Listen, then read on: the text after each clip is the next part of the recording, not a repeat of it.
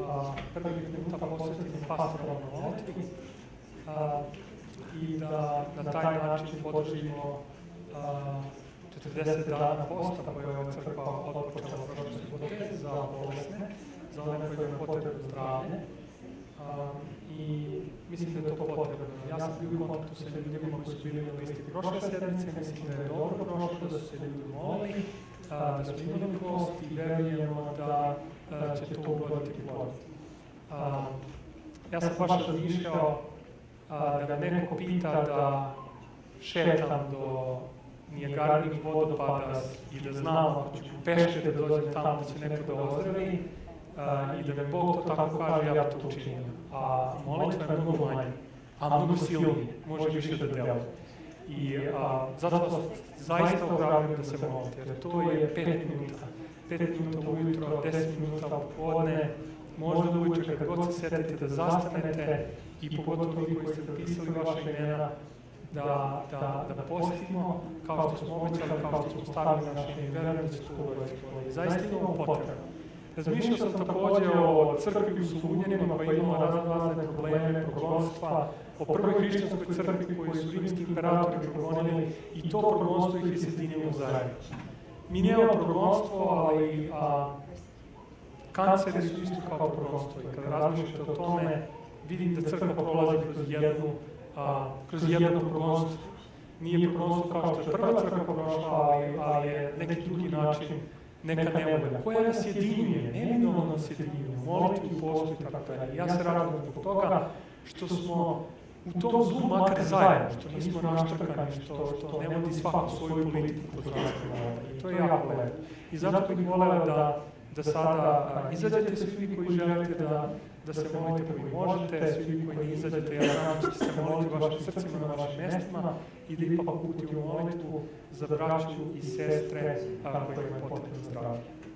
Mi imamo još jednu informaciju da će sestra Karolina imati operaciju 17. augusta, tako da ćemo nju uključiti u naš post. Ja vas pozivam da pored Olgice, pored uh, brata Franje, pored Radule, uh, Romanovih, uh, i, i porodice Spuljičak i Aleksa, da uključimo i, i sestru Karolinu Fišer na, na naše liste i, i naš post kada budemo se molili.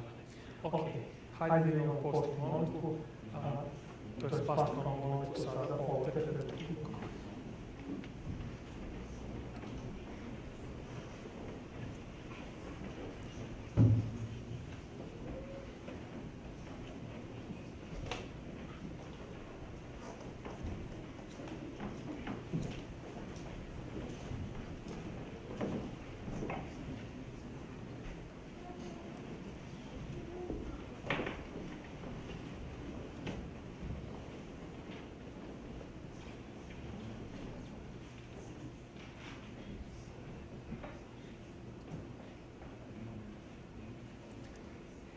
pred dragi naš oče nebeski, zahvalni smo ti što imamo tako veliku privilegiju da budemo braći sestre, što imamo tako veliku privilegiju da budemo članovi Tvoje crkve ostatka i što u vreme nevolje a, koje je danas veće nego ikada do sada, iako se to možda da primećuje na prvi pogled, što možemo da budemo zajedno.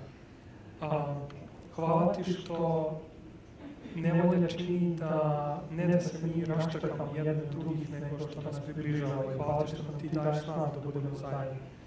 Hvala ti što možemo da osetimo ono što drugi ljudi a, ne mogu u ovom svetu da shvate, što je za njih nepojmljivo, da nas nevolja nagodi na to da još više slavimo Tvoje ime, da se još više obećamo Tebi. I zato u ovim momentima dolazimo na Tebe da te molimo za ljude kojima je potrebna u ovim momentima samo jedna stvar, a to je zdravlje. I to da bi mogli da dalje nastave da slavi ime Tvoje.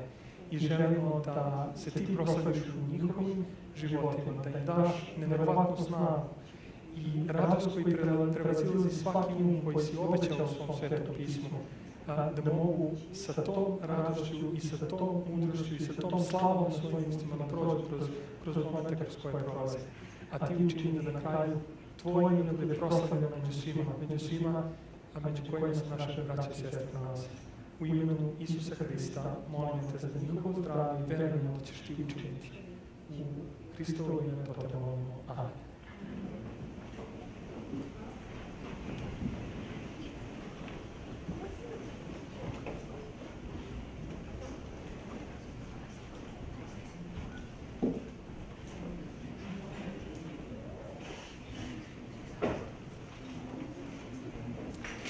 Želim da vas pozdravim, dragi prijatelji, dragi braće i sestre, svi koji, vas, koji nas pratite iz vaših domova, drago me da ste još jednom odlučili da pratite program iz naše crkve.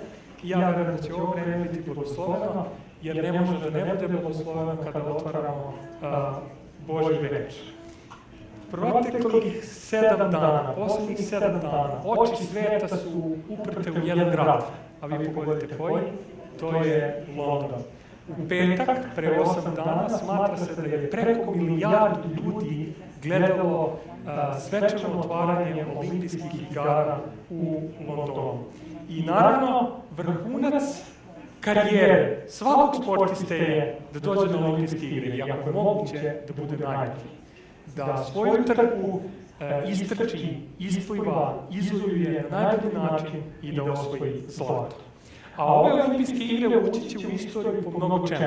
Oni koji prate sport posebno su zainteresovani za Usain Bolta, koji će da ponovno zatrči na toj deonici od 100 metara i 200 metara. I oni koji prate znaju da je Usain Bolt 2008. godine Pekingu srušio svetski rekord na 100 metara i ponovo srušio svetski rekord na 200 metara, da bi zatim 2009. godine, samo godinu dana kasnije, u, u Berlinu na svetskom prvenstvu ponovo srušio svoj sobstveni rekord i prešao granice normalnog.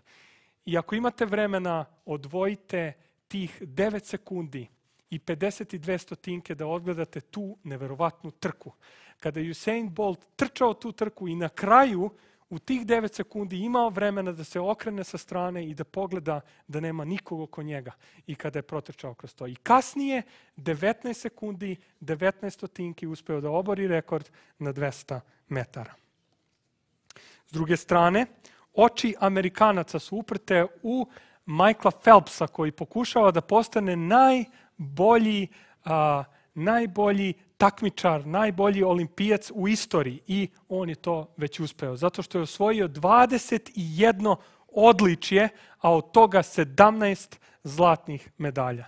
I još uvek ga očekuje štafeta gde će pokušati da taj rekord još više povisi i da osvoji 22.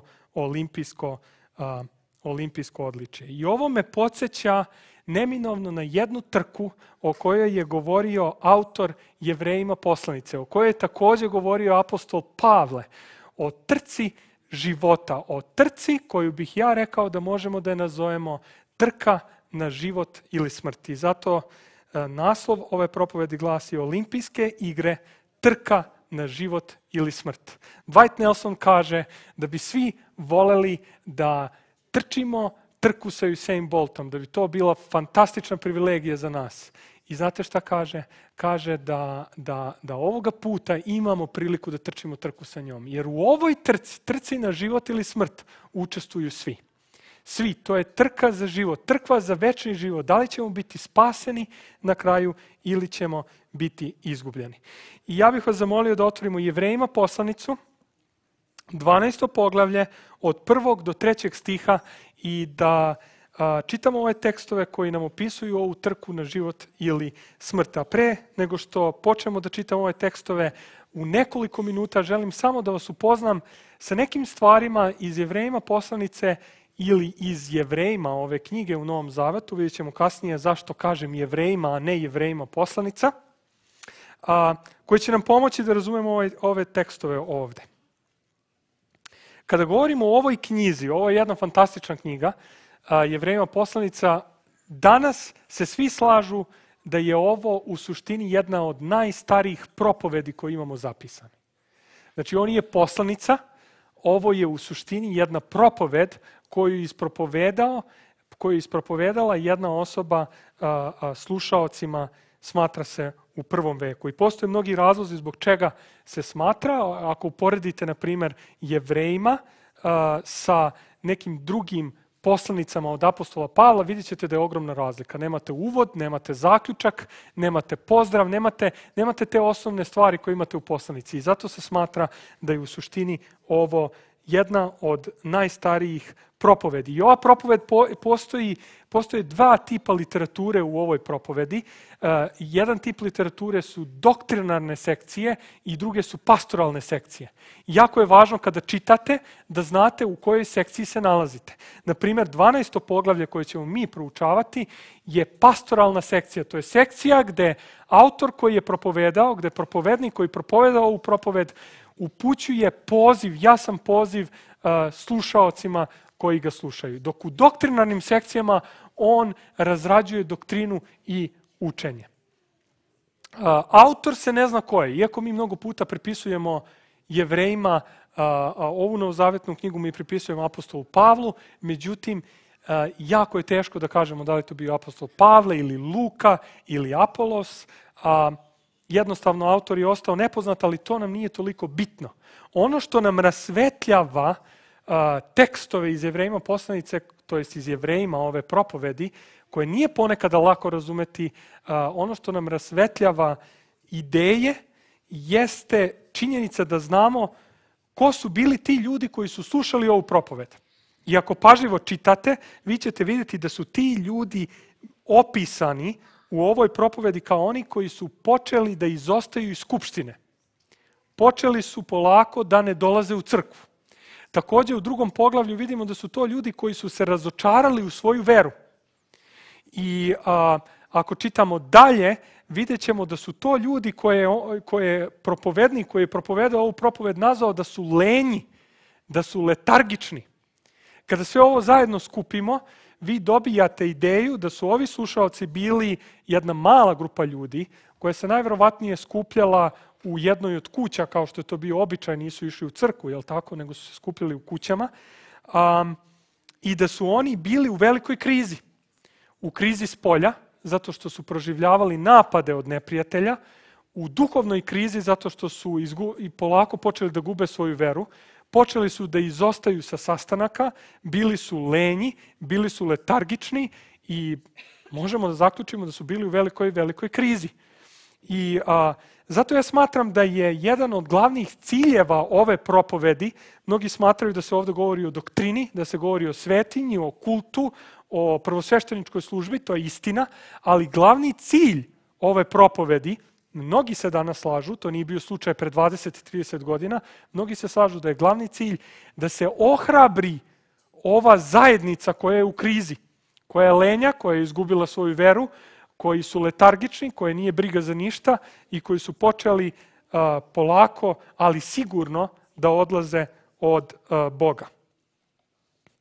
Uh, ja želim samo da vam kažem gde se nalazi ovo 12. poglavlje, ako pogledate ovde na kraju. Ovo su pastoralne sekcije, ti pastoralni delovi iz ove propovedi. Mnogi smatraju da trebamo posebno da proučavamo doktrinarne, a posebno pastoralne. I kada pogledate, postoje jasne paralele. Na početku imate pozitivan Hristov primer, na kraju imate pozitivan Hristov primer. Imate negativne primere iz Starog Zaveta, a imate pozitivne primere iz Starog Zaveta. Junaci vere u 11. poglavlju, su u paraleli sa negativnim primerima iz Starog Zaveta na početku ove propovedi. Onda imate upozorenje u četvrtom poglavlju, imate upozorenje u desetom poglavlju. Imate poziv da priđemo bliže Božjem tronu u četvrtom poglavlju, imate poziv da priđemo Božjem tronu bliže u desetom poglavlju. U sredini imate ekspoziciju koja je osnova za sve ovo. Božja obećanja su osnova naše nade. Zašto je ovo značajno? Ne želim da vas gnjavim, ali sama činjenica da je ovo poslednja sekcija pastoralna nam nešto govori. Obično kada neko propoveda nešto, najvažnije stvari ostavlja za kraj. I ovde propovednik kogod daje, bio kada je propovedao ovu propoved, u 12. poglavlju počinje poslednje izlaganje ovim vernicima. Poslednju stvar. I to je nešto što je od velikog značaja, zato što je poslednja homilija, poslednja pastoralna sekcija u ovoj, posle, u ovoj poslanici. Interesantna je logika kako, kako to autor čini, kako to govornik čini. Pogledajte ovde samo za sekund. Bog je dao reč, Božja reč u to vreme je bila reč iz Starog Zaveta, koja je ili obećanje ili kazna. Bog je dao tu reč autoru, autor je deli sa zajednicom. I pogledajte autor. Autor daje negativne primere ili daje pozitivne primere. I ako daje negativne primere, on onda daje upozorenje. Nemojte tako da činite. Ili daje pozitivne primere i ohrabruje vernike da tako čine. I onda zajednica ima priliku da se odluči za neverovanje ili za verovanje. U 12. poglavlju mi imamo pozitivne primere.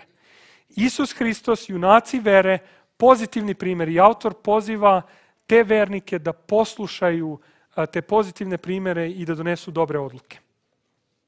I važno je da kažemo da ovde imamo metaforu. Na metaforičan način se oslikava hrišćanski život, a ta metafora je da trka, trka na olimpijskim igrama u to vreme je uzeta kao slika hrišćanskog života. Kao trke na život ili smrt. I kada pogledate olimpijske igre ili a, trčanje, takmičenje, bilo kakve vrste, je bila jako popularna slika za hrišćanski život i za to kako ćemo mi hodati sa Bogom. Skoro u svakom gradu, helenističkom gradu, a, a, a, mislioci su poredili na ovaj način trke sa hrišćanskim životom. Vi znate da olimpijske igre koje su osnovane 776. godine pre Hrista smatra se prve, da su u suštini imale i religiozan karakter, jer su održavane u slavu bogu Zevsu na Olimpu. I postalo je tad pet disciplina, od kojih je prva i najvažnija bilo trčanje. I upravo zato što su te olimpijske igre održavane u antičko vreme bogu Zevsu, kasnije hrišćanski mislioci koriste simbole i, i a, trčanje da bi opisali našu trku koju imamo u našem životu, trku na život i na smrt. I hajde da vidimo šta možemo da izvučemo, koje poruke možemo da izvučemo iz uh, ova tri stiha iz Jevrejima poslanice i hajde da pročitamo prvi stih. Zato dakle i mi, imajući oko sebe toliku gomilu svedoka, da odbacimo svako breme i greh koji je za nas prionio i sa trpljenjem da trčimo u bitku koja nam je određena. Ovde vidimo jasan prelaz sa jedne sekcije, sa jedne teme na drugu temu, jer vidite na početku 12. poglavlja, zato dakle, dakle, očigledno da je 12. poglavlje povezano sa 11. i očigledno da postoji promena u temi. U 11. poglavlju vidjet ćete autor samo propoveda o njima. Oni su, Avram je, Jakov je, Josif je, Mojsije je. Znači, treće lice, treće lice množine, oni su. A sada u 12. poglavlju, zato dakle mi. I očigledno je da autor prelazi na nas, da ima nešto da kaže nama, to jest ima nešto da kaže slušaocima u prvom veku koji su ga slušali. Smatra se da je on propovedao u prvom veku pre razorenja hrama, zato što se govori još o hramu kao da postoji. I on govori direktno njima, ima poruku za njih. I vrlo jasne implikacije za nas danas se mogu povući i paralele za nas danas se mogu povući iz ovog teksta. I prva poruka se nalazi na kraju ovog prvog stiha. Prva poruka za njih na kraju ovog prvog stiha, jer na kraju se nalazi glavni glagol, a to je da trčimo bitku ili na originalu, ja verujem da prevod a, treba da bude da trčimo trku koja je pred nas a, postavljena. Dakle, prva poruka je istrajte u trci koju je Bog pred vas postavio. Pogledajte, setimo se kome on propoveda. On propoveda crkvi koja je lenja, letargična, počeli su da izostaju iz crkve, počeli su da se odriču od svoje vere i oni tako lenji, koji, su se, koji nemaju više energije, on kaže istrajte u trci koju je Bog postavio, koju, koja je pred vas postavljena. U suštini ovde nemamo agenta, ne znamo ko je postavio tu trku pred nas, ali a, skoro da je jasno da je Bog taj koji je postavio a, koji je postavio tu trku. I pogledajte, glavni glagoli u rečenici trčati. I ovo nije, nije, nije prvi put ova ideja iznesena. Hajde da otvorimo još neke stihove. Rimljanima 9.16, na primjer. Hajde da vidimo. A, trčanje u Novom Zavetu. Interesantno, zar ne? Kako su novozavetni autori a, shvatili ovaj pojam trčanja? Rimljanima 9.16. Dakle, možete da otvorite svi. Rimljanima 9.16 kaže, tako dakle, niti stoji a, do onoga koji hoće, niti do onoga koji trči, nego do Boga koji pomiluje. Očigledno, a, apostol Pavle ovde u Rimljanima poslanici govori da spasenje ne, do, ne dolazi do nas koji trčimo, ali svi mi trčimo. Vidite taj simbol, simbol da trčimo. Hajde dalje, prva Korinčanima 9.24. Opet apostol Pavle. Prva Korinčanima 9.24 kaže, ako smo pronašli možemo da čitamo, ne znate li da oni što trče na trku, svi trče, a jedan dobija dar. Tako trčite da dobijete. Ovo me podsjeća ono da samo sileđije ulaze u carstvo nebesko. Jeste se nekad pitali kako je moguće da sileđije ulaze u carstvo nebesko? E pa potrebno je da trčimo. I vidjet ćemo šta, šta, šta to znači kasnije. Dvane, I onda imate kasnije u, u Filibljanima 2.16. Hajde da otvorimo još jedan tekst. Filibljanima, dakle trčanje u Bibliji, Filibljanima 2.16. Kaže apostol Pavle ponovo u Filibljanima, pridržavajući reč života na moju hvalu za dan Hristov, da mi ne bude uzalud šta? Da mi ne bude uzalud trčanje i trud. Očigledno kada čitamo apostola Pavla da vidimo da je Pavle imao tu sliku u glavi da on trči tu trku zajedno sa mnogim drugima koji trče tu trku na život ili smrt. Ali ključna reč ovde u ovom trčanju jeste budite istrajni ili kako u jevrejima poslanici je Karadžić preveo i sa trpljenjem trčite. Očigledno da ova slika, ova metafora nije a, trka na 100 metara koju trči Usain Bolt, nego je ovo više maraton koji trčite a, e, i koji je 40 kilometara. Znači, potrebno je a, da istrajemo u toj a, trci. I ova reč istrajati je ključna reč. Pogledajte, u prvom strihu spominje se i sa, strpljenj, i sa trpljenjem da trčimo. U drugom stihu, ponovo, Isus je pretrpio krst. U trećem stihu ponovo, um, kad je, kaže, koji je protivljenje protiv sebe od grešnika pretrpio, izdržao. Sedmi stih, ako trpite grđenje, ako okrenete deseto poglavlje, vidjet ćete u 32. stihu ponovo, kaže, koji mnogu borbu i stradanja trpite, u 36. stihu, jer vam je trpljenje od potrebe. Na zadnjem, e, zadnja reč u, u, u ovom stihu na grčkom e, je agon, agonija, trčanje. E sada vidite, kad mi razmišljamo o hrišćanstvu, mi razmišljamo o tome da smo mi zaštićeni, da mi trebamo da se opustimo, da verujemo Isusu Hristu, da smo zaštićeni od bilo kakvog napora, bola, truda, iznemoglosti. Međutim, ovde apostol kaže, mi trebamo da trčimo. Ovde autor kaže, mi trebamo da trčimo. I paralela sa nama danas, a, koliko puta mi zaboravimo da smo u toj trci. Mi treba da trčimo trku na život i smrt. I ponekada smatramo da je hrišćanstvo nešto što ne moramo ništa da činimo i zaista mi za spasenje ne možemo ništa da doprinesemo, ali je potrebno da ostanemo u trci. Bog nam oprašta grehe, ali mi moramo da istrčimo trku.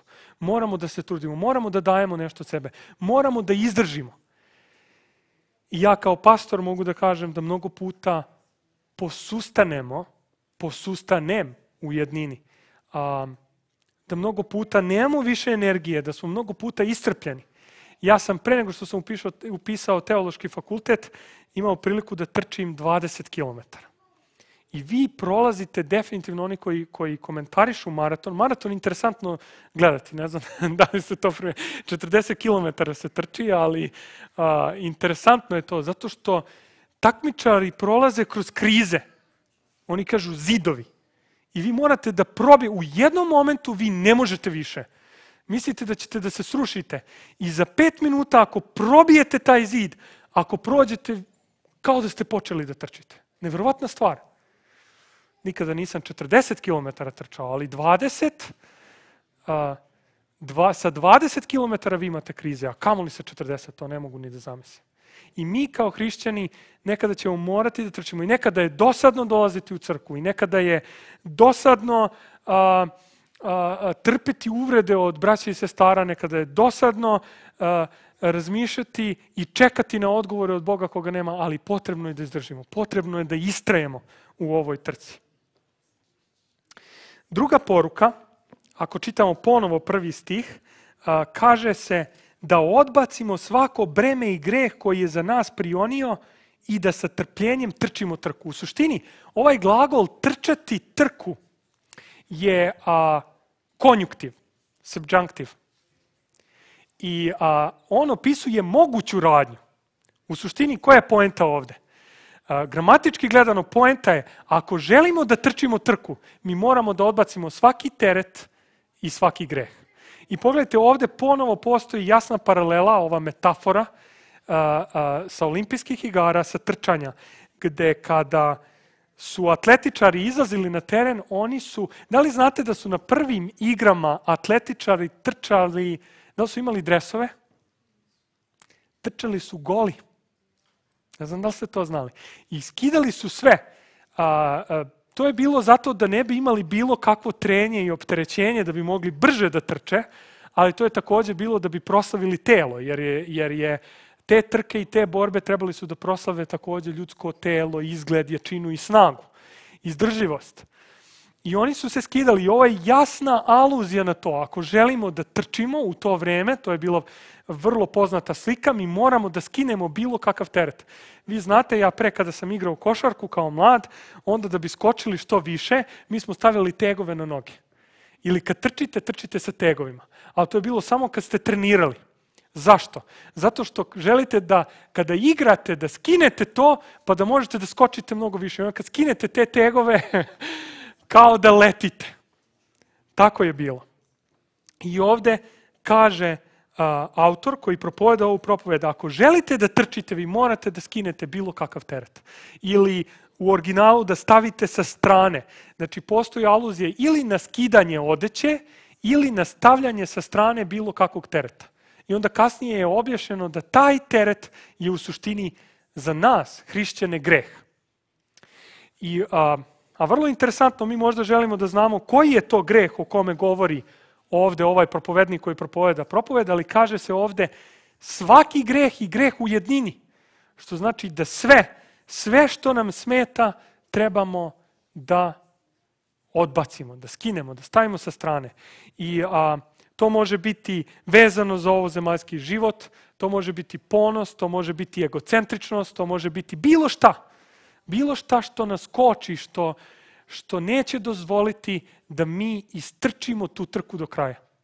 By the way, nevjerovatna stvar. A, Čavić juče, za ne znam nija koliko stotinki, izmakla mu je medalja. Toliko su dobri, toliko su, to su profesionalci koji su spremni na pritisak. Ja razmišljam kako je moguće da u stotinkama oni mere vreme. Zato to nisu pitanju sekunde ko će osvojiti medalju, stotinke.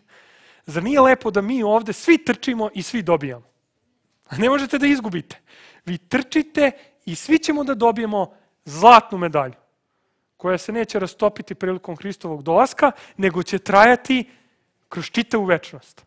Svi trče, svi dobijaju. To nema nigde, osim kod Hrista, koji blagodaću daje spasenje svima. Ali moramo da trčimo. I paralela sa nama je jasna, da trebamo da odbacimo sve što nas koči, sve što nas usporava, da trebamo da stavimo na stranu. Svaki greh, da bismo mogli da istrčimo tu trku do kraja.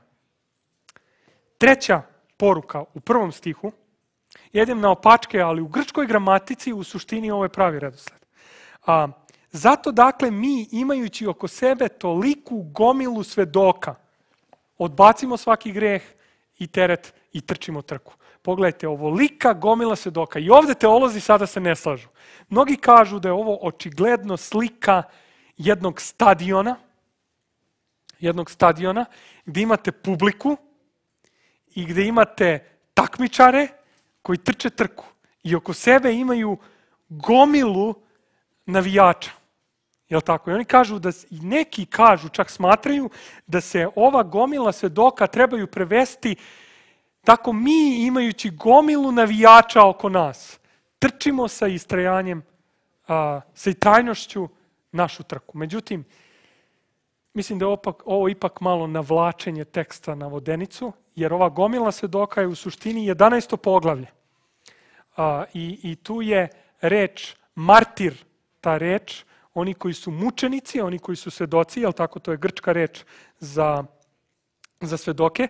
I u 11. poglavlju pogledajte, imate Avelja koji je bio veran, imate Enoha, imate Noja, imate Avrama, 11. stih, Sara, 20. stih, Isak, 21. Jakov, 22. Josif, 23. Mojsije, 31. Rava. Tolika gomila svedoka. I treća poruka je, crpimo energiju od svedoka.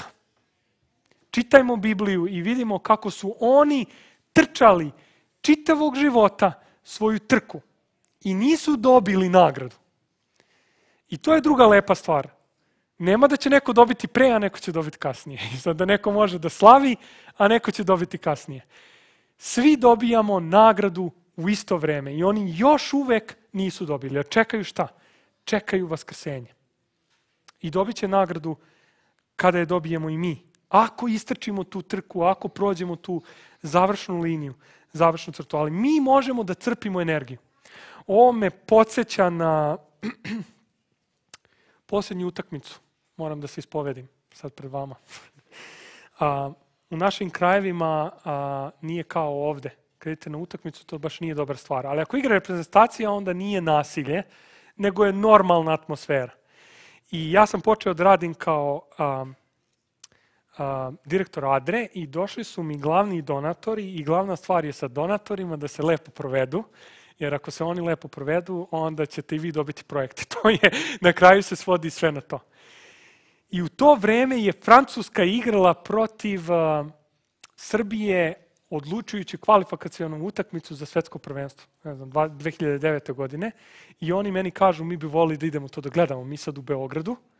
A pre toga u Pragu, to su bili iz Češke gosti, Tomaš i Mirek, tako su se zvali, još uvek, dobri ljudi. I oni kažu, mi bi volili da, da gledamo to. Ja nisam, otkako sam počeo da dolazim u crku, protiv sam odlaska na takve stvari, ali ovo je bilo više poslovnog karaktera i rekao, hajde, nađem ja nekako karte jedva u posljednjem danu i mi smo se približavali autokomandi gde je stadion Crvene zvezde, ne znam koliko je vas bilo tamo, 63.000 ljudi, ali to je malo kad gledate sa spolja. To je jako malo, to je dva, dva i po metra vis, visok bedem. Ali kad uđete unutra, stadion je nekako ukopan u zemlju. I nikada neću zaboraviti pogled od Tomaša mi kad smo se približili tim vratima, ja mislim da se zemlja tresla. I mislim da se pokajao što je zatražio da dođe. To je, a, osjećali ste vibraciju u vašem telu od 60.000 ljudi koji su urlali.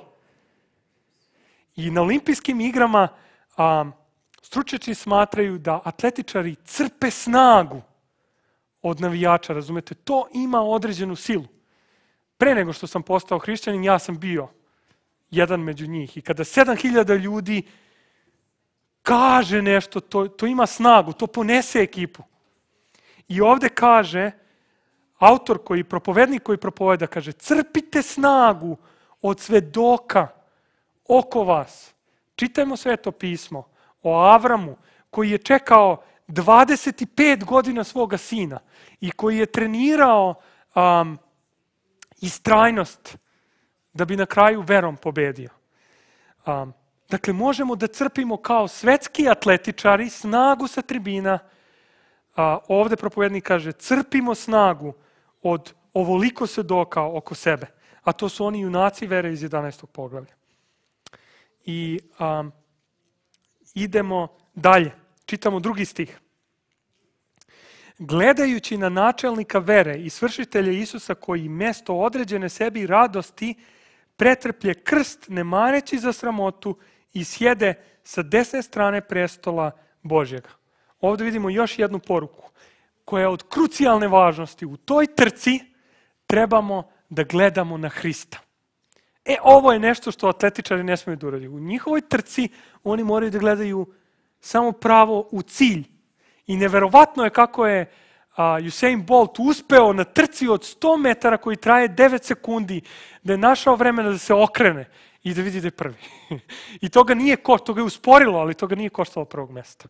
Mi, ovde glagol kaže u suštini da ne smemo da gledamo okolo, nego da naš pogled trebamo da fiksiramo na Isusa Hrista, koji je u originalu bi trebalo da se prevede začetnik i svršitelj ove trke.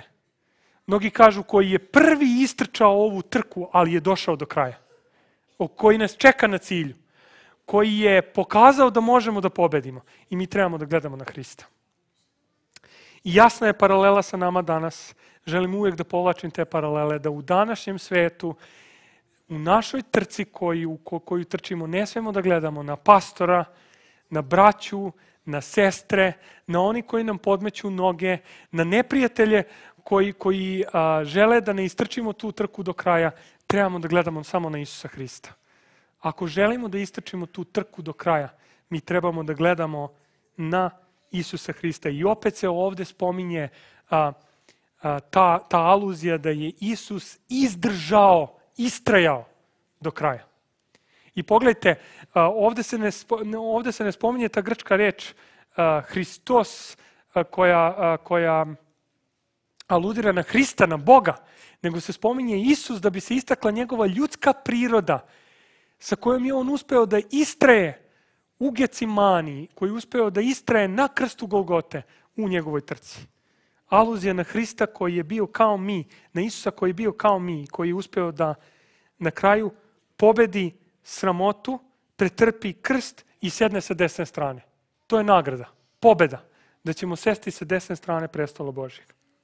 I još dve poruke imamo. Treći stih. Pomislite dakle na onoga koji je teško protivljenje protiv sebe od grešnika podnio, da ne oslabe duše vaše i da vam ne, tu, ne dotuži. Pogledajte, imate a, ovde progresivno razmišljanje. Prvo, a, a, autor ove knjige kaže gledajte na Hrista koji je odlučio da umesto radosti pretrpi krst. A ovde imate razmišljajte o Hristu. Dakle, još jedna um, još jedan korak napred. Ne samo da gledamo, nego da razmišljamo o Hristu, koji u ovom stihu nije sam odlučio da ode na krst, nego koga su grešnici razapeli. Dakle, odlazimo jedan korak više. Vidite, u drugom stihu gledamo na Hrista koji je sam odlučio da umre, a u trećem stihu razmišljamo o Hristu, što je veća radnja, jel tako, koga su drugi grešnici a, razapeli. I ovde postoji važna poruka za nas. U tom trčanju, a, kao što su Hrista kao što su Hrista drugi grešnici razapeli, u tom trčanju, nažalost, bit će oni koji će nam podmetati noge. I to će obično biti oni ljudi koji su u crkvi. Nenamerno možda. Možda slučajno. Ljudi koji će zalutati iz njihove linije u vašu liniju i koji će vam podmetati noge, namerno ili slučajno, da ne bi istrčali tu trku. I to je najteža stvar. U toj trci gde svi trčimo, da niko ne mora da bude prvi, mi nekada jedni drugima podmećemo noge. I ovde je ohrabrenje da Isus koji je došao da strada, a, koji je došao da strada za druge, za te druge za koje je došao da strada, da im da večni život, oni su ga razapeli. I mi koji trčimo zajedno trku za spasenje, jedni druge nekada saplaćemo, sablažnjavamo, obeshrabrujemo umesto da ohrabrujemo. Ali je potrebno da, da, da istrajemo dalje. I na kraju, zadnja poruka, da ne oslabe duše vaše i da vam ne dotuži. Pet godina 10 godina, to ne može da se poredi sa maratonom. 15 godina, 20 godina, 30 godina trčite trku. Neko bi rekao, pa dokle više da trčimo i da čekamo to spasenje, da prođemo kroz tu liniju i da konačno uzmemo vena slave. Trebamo da trčimo do kraja. I ako ste možda u toj trci posustali, ako se možda naša, a, naš opis može da bude kao opis ovnih koji su slušali ovu propoved, da smo lenji, da smo možda posustali, da nam se ne ide više u crku, da smo se razočarali u veru, ovo je propoved za nas. Da ne posustanemo i da idemo. I hajde još jednom da prođemo kroz ove poruke. Istrajmo u našoj trci. Broj dva, odbacimo svaki teret i greh. Broj tri, crpimo energiju od junaka i svetoga pisma. Broj četiri, gledajmo na Hrista. Broj pet, razmišljajmo o Hristu i ne dozvolimo da se sapletemo od noge oni koji trče zajedno sa nama. I šest, nemojmo pasti iscrpljeni pred linijom. I nemojmo dozvoliti da ne istračimo do kraja. I želim na kraju da vam pričam a, ono o čemu bruje svi mediji a, danas, sutra, a to je o jednom južnoafrikancu pod imenom um, Oskar, koji je učestvovao u paraolimpijskim igrama. Znate šta su paraolimpijske igre? Olimpijske igre za one a, koji nemaju uslove kao što imamo svi mi, da trče normalno. I on je trčao trku na 200 metara, paraolimpijskim igrama, pao, ali je ustao. Ustao i istrčao to polufinale do kraja, da bi kasnije pobedio u istoj trci i uzeo zlato. I na kraju taj isti Oskar ove godine i zašto svi mediji govore o njemu, taj isti Oskar koji je sa 11 meseci kada je bio beba, oni su shvatili da on nema taj mišić koji mu, a ja nisam doktor, ali čitao sam da, da taj mišić pridržava a, list. Oni su shvatili sa 11 meseci da taj dečko, da Oskar nema taj list i odlučili su da mu oceku obe noge jer je postojala dve opcije postojala opcija ili da bude čitavog života u kolicima, ili da mu amputiraju noge i da može sa protezama da, da, da, da hoda. I on je odlučio da hoda i kaže da je trčao, trčao, trčao, došao do tih paraolimpijskih igara, pao na trci od 200 metara, ustao, pobedio u polufinalu, uzeo zlato u finalu. I ove godine na olimpijskim igrama trči sa onima koji imaju noge. I danas će on da trči svoju trku. Ne znamo kako će da prođe. I ja se pitam, ako je Oskar, kome su sa 11 meseci amputirali noge, odlučio da se bavi sportom i to u disciplini za koju bi ja rekao, pa sve je moguće, i bacanje diska, i bacanje kugle, i bacanje koplja, i stoni tenis, i tenis, ali trčanje ne. I ako je on odlučio da trči, i ako je tako istrajan bio da kada je pao, kada je pao da je ustao i da je trčao, by the way, to je bilo u Atini, a u, u, u Pekingu je osvojio zlato na 100, na 200 i na 400 metara. Da bi mu sad sledeća deonica bila da počne da trči zajedno sa onima koji normalno trče. Ako je on mogao, onda, braći i sestre, možemo i mi.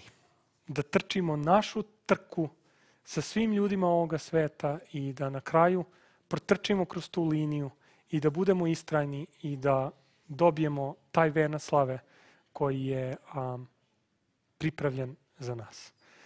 Da li si i ti dalje u trci? To je moje pitanje za vas ovoga jutra. Amin.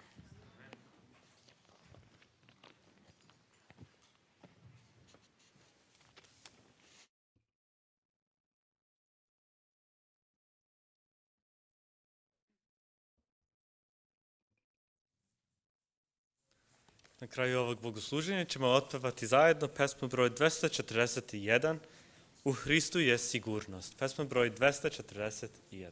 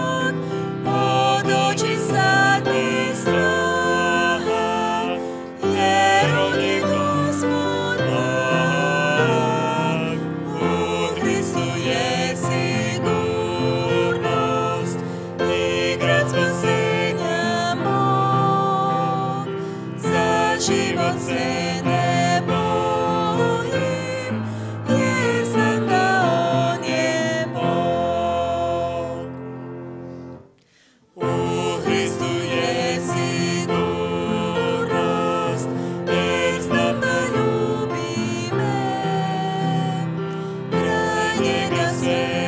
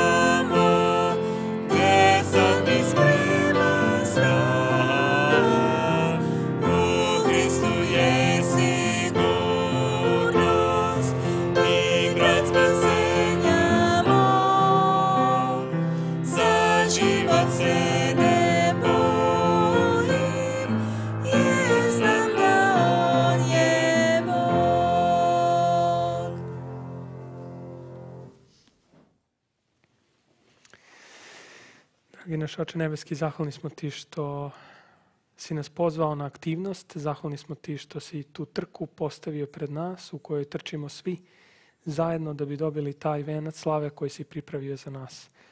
Hvala Ti što znamo da si Ti začetnik i svršitelj vere. Hvala Ti što znamo da si Ti prvi istrčao tu trku, da si utabanao stazu koju mi možemo da idemo.